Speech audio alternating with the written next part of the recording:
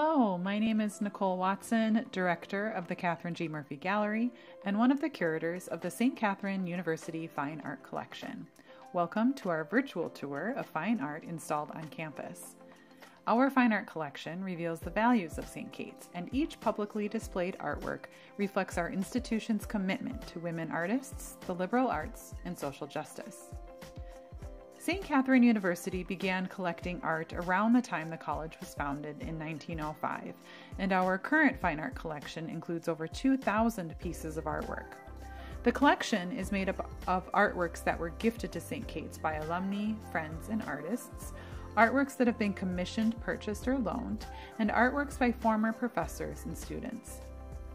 Today's virtual tour includes a small sampling of artwork installed in common areas of Derham Hall and Cour de Catherine, also known as CDC. However, viewers will notice that there is fine art installed in nearly every building on campus and throughout the outdoor grounds at St. Kate's. Visual art had a distinctive role in the early history of the college.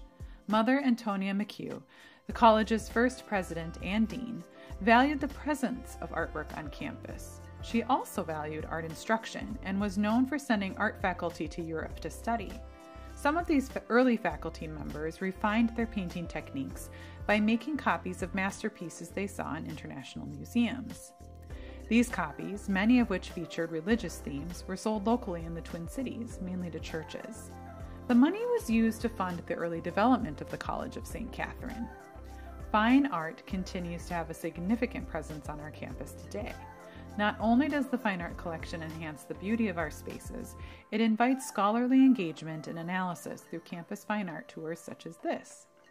The campus community and the public is also welcome to further interact with the collection through our Visual Resources Library, located in the Visual Arts Building. The artwork installed on campus today represents a 25 year effort to highlight the work of women artists. However, as we continue to grow the university's fine art collection, we are prioritizing the acquisition and public installation of artwork by women artists of color, as well as women artists from Minnesota. The first stop on our tour of the St. Catherine University Fine Art Collection is the reception area on the first floor of Derham, where we have a selection of paintings from the Catherine Portrait, a series of 40 oil on panel paintings featuring portraits of students, faculty, staff, administration, and members of the Sisters of St. Joseph of Carondelet. The Catherine portrait was completed in 2011 by Patricia Olson, Professor Emerita of Art and Art History. A larger installation of additional portraits from this series can also be seen on the fourth floor of CDC. These paintings were made over a three year period. The artist photographed her subjects and made paintings based on the images. As you can see at the lower right, the artist even included herself in this series. Patricia's portraits address the idea of individuality within the shared experience of belonging to the community of St. Catherine University. She was interested in providing what she calls a visual archive of the university community in the beginning of the 21st century, highlighting a variety of people from across the campus, depicting differing races, ethnic backgrounds, ages, genders, abilities, and roles. In her own considerations about this project, Patricia points out that portraiture has a long tradition in art history, and usually portraits were intended to honor and glorify the individual pictured. Consider the Mona Lisa, historic paintings of royalty or religious figures, and presidential portraits. Often, we don't view these portraits in the context of their communities or the people they represent. The artist has written, quote, The Catherine portrait suggests the possibility that at this time in history, a painter can present an individual in all their glory, yet also give this individual context and connection to a larger whole, beyond the anomie and alienation of previous decades. End quote. I think it is important to note that these portraits are most powerful in their relationship with one another. Though the individual paintings are not very large, each one measures about 16 by 16 inches, they maintain a significant presence in the space because they hang together. Together, they reflect a vibrant and diverse community, one that is committed to this institution, which has the education of women at its core. Patricia Olson is a St. Paul artist who received her BA in studio art from Macalester College and an MFA in visual studies from the Minneapolis College of Art and Design.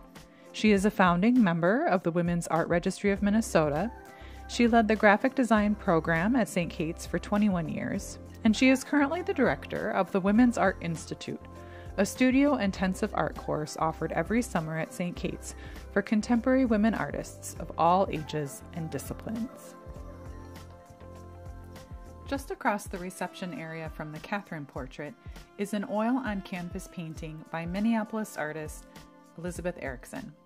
When I introduce this painting in person, I often begin by asking viewers, What do you see? How does it make you feel? Students often respond by telling me they see large, fluid, and gestural brush marks.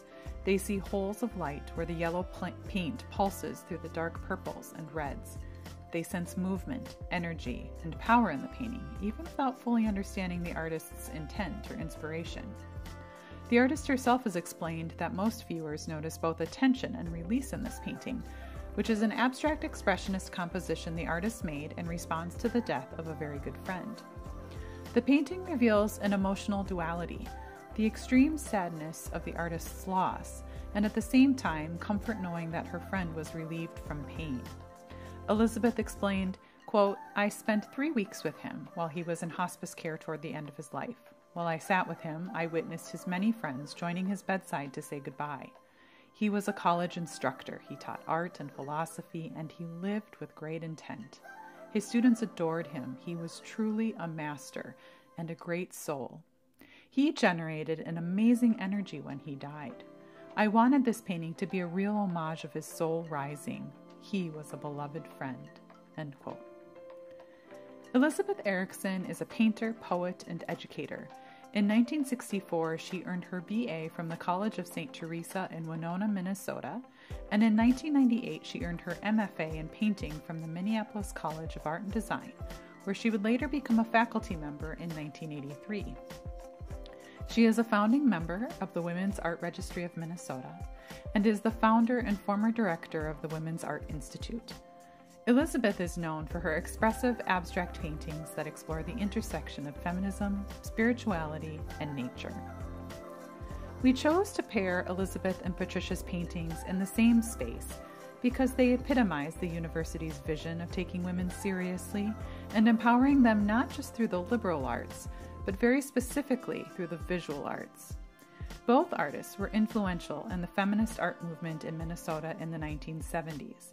They advocated and organized for the development of local artists, and they designed educational art curriculum and pedagogy that centers women artists.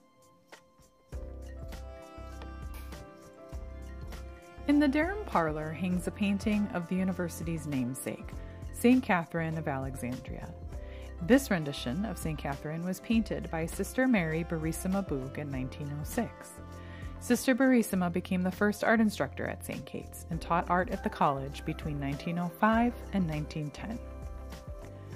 Sister Barissima's painting includes several symbols associated with St. Catherine, who was martyred in Alexandria, Egypt in the 4th century.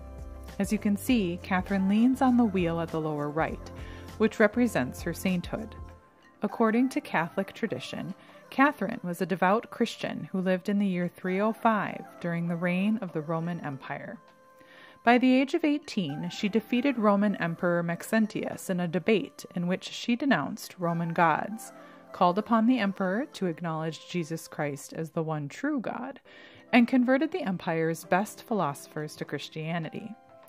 As a result, Maxentius ordered Catherine's death upon a spiked breaking wheel, which shattered upon her touch. This miracle led to St. Catherine's association with the wheel, an emblem that is present throughout St. Catherine University. Born to a noble family, Catherine's crown establishes her wealth and her status as royalty. In the painting, Catherine is holding a quill, suggesting her devotion to her education, as well as her role as the patron saint of philosophers and scholars. In reality, St. Catherine is likely a combination of several women in Alexandria who were punished by the Romans for their faith. It is important to note that this painting of Catherine was inspired by the Renaissance period of art history, which accounts for Catherine's classical features and dress. There are several images of St. Catherine on campus, each one varying stylistically and revealing the visions, inspirations, and imaginations of a variety of artists. I often challenge students to find other images of St. Catherine on campus and encourage them to consider how they are similar or different from the prominent version pictured here. The artworks located in the Center for Social Justice and Spirituality are a combination of screen prints and reproductions of prints by Corita Kent, also known as Sister Mary Corita. Corita was an artist, educator, and social justice advocate. She was born in Fort Dodge, Iowa in 1918 and entered the Immaculate Heart of Mary Religious Order at the age of 18. She went on to teach and lead the art department at Immaculate Heart of Mary College in Los Angeles. According to the Corita Art Center, also in Los Angeles, quote, Corita's work evolved from figurative and religious imagery to the incorporation of commercial advertisements and slogans, popular song lyrics, biblical verses, poetry, and literature. Throughout the 1960s, her work became increasingly political, urging viewers to consider poverty, racism, and injustice. A particularly nice example of this work can be seen in the piece titled Loud and Clear. Juxtaposing rectangular sections of green, blue, and orange, and with boldly brushed typography and handwritten text, the composition is punctuated by an orange circle, drawing our eyes to the text underneath, which quotes the French philosopher Albert Camus and calls upon Christians to, quote, speak out and, quote, confront the bloodstained face that history has taken on today, end quote. Though the artist is not addressing a specific event or action, the civil rights and anti war movements dominated the era in which the work was made. Corita's work often investigated the intersection of spirituality and social justice. Corita is known for the pop art aesthetic evident in the prints exhibited here lively and fresh color with graphic, abstract forms, where text is a significant compositional element. Corita utilized the screen printing process, a method of printmaking in which ink is applied to paper through a mesh screen, except in the area where a blocking stencil is placed. In 1968, Corita left the order and moved to Boston, after 1970, her work evolved into a sparser, more introspective style, likely influenced by her secular life in a new city, as well as her battles with cancer. She remained active in social causes until her death in 1986. Additional works by Corita, as well as her students, can be seen on the first floor of Derham, which highlights works featured in the Catherine G. Murphy Gallery 2015 exhibition titled Look at This and Look Again and see anew. Three works by artist Ida Kumoji-Ankrah hang near the second floor atrium of Cour de Catherine. Born in Ghana, Africa, in 1976, Ida came to the United States in 1997 to attend St. Catherine University, where she received a BA in studio art with an emphasis in graphic design. She went on to get her MFA in graphic design at the University of Minnesota and is now a professor in the Art and Design Department at Eastern Kentucky University. In 2006, Ida returned to St. Kate's for a solo exhibition in the Catherine G. Murphy Gallery titled Cross Cultural Design. Six of the digital prints exhibited in cross cultural design were purchased by the university, and three of them are installed here.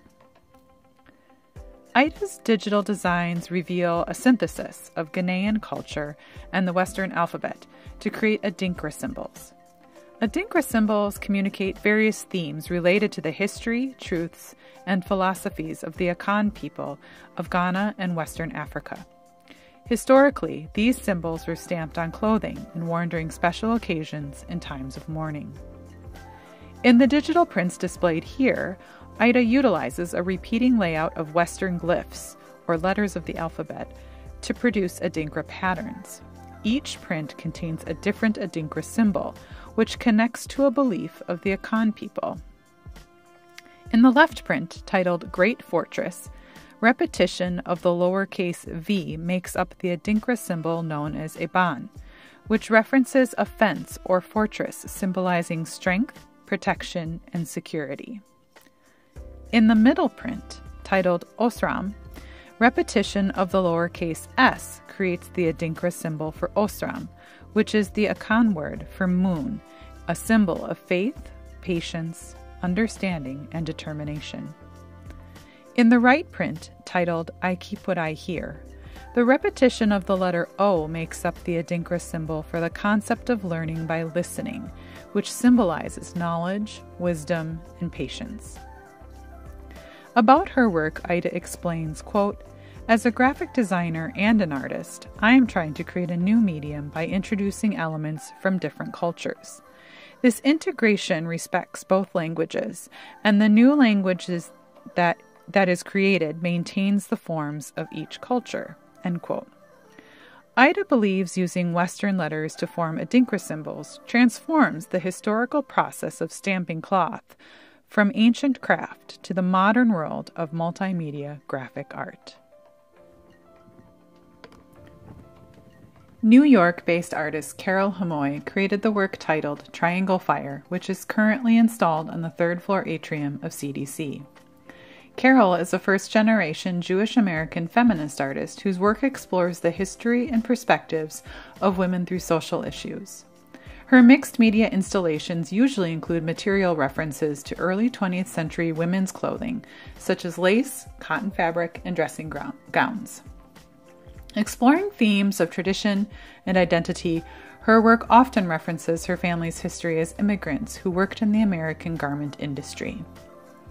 Triangle Fire features replicas of shirtwaists being made at the time of the Triangle Shirtwaist Factory fire in New York on March 25, 1911. It was the city's largest industrial disaster and caused the death of 146 garment workers, 123 of whom were women and girls, most of them Jewish and Italian immigrants between the ages of 14 and 23. They succumbed to the fire or jumped from the building in hopes of survival. The conditions in the factory were typical of the time. Flammable textiles were stored throughout the space, remnants and scraps covered the floors, paper patterns and tissue papers hung above the work tables. There were no fire extinguishers, and exits to fire escapes and stairwells were locked to prevent theft and unauthorized work breaks. It is believed that the fire began accidentally with a match or a cigarette that wasn't completely smothered, and it was clear that the poor factory conditions contributed to the significant loss of life. The fire led to legislation requiring improved factory safety standards and catalyzed the International Ladies Garment Workers Union, which fought for better working conditions for employees in the industry. This installation is notable for its overall monochromatic color, which gives it a quiet and intimate presence in the space. The shirtwaists are accentuated by small mirrors, beaded straight pins, clasps, lace, and artificial flowers lined with pearls. The left shirtwaist is singed with dark smudges, certainly referencing the fire. These elements work together to point to the delicacy of human lives, reminding the viewer of the real people at the center of the factory disaster. The subtle elegance of the installation is contrasted by stark and seemingly gruesome passages of text composed across each lace covered shirtwaist. Incredibly, the text quotes come from newspaper articles of the time. For example, the middle shirtwaist reads In twos and threes, the women and girls dropped from the sills, hurtled through the air, and fell to the pavements. In Triangle Fire, the artist effectively narrates the history of the Triangle tragedy by centering the experience of the factory workers, who were poorly paid immigrant women laborers. Carol gives voice to these women and affirms their dignity as human beings, while reminding the viewer of the power of collective influence to fight injustice. The final stop on our tour is the fourth floor of CDC, where you can find an installation titled Borealis by alumna Christina Fellman. Christina graduated from St. Kate's with a Master of Arts in Education in both art and theater. She is a visual artist and performer who is drawn to creative projects that combine both of these passions. Christina's experience in theater seems particularly evident in Borealis, which has a three dimensional quality that reminds me of a stage set. The installation is made up of wing like shapes created from fabric and steel wire, each one suspended a few inches from the wall by clear thread. The installation sways very slightly with airflow changes in the space, giving the artwork movement and energy. Borealis was inspired by pictures from the Hubble telescope. Christina explains, quote, images of the Milky Way and star clusters give an impression of movement through time, especially in the way there are light arcs across the night sky and fades to morning. The contradiction between static imagery and movement becomes central to my compositions. By using sheer fabric and paper, I explore how light and shadow become part of the movement. The fabric creates an organic, somewhat simple abstraction of the original image or theme, while the bent wire relays a tension that cannot be duplicated on canvas. This installation explores the scope of textures, colors, shapes, and compositions in the vast expanse of the night sky.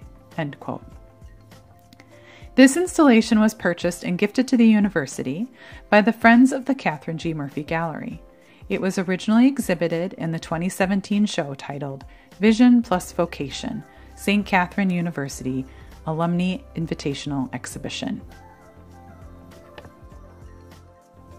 Thank you for joining us for today's virtual fine art tour. For more information about the St. Catherine University Fine Art Collection, please visit gallery.stkate.edu and click on Collections, where you can access additional collection highlights, the Visual Resources Library, and our digital collections.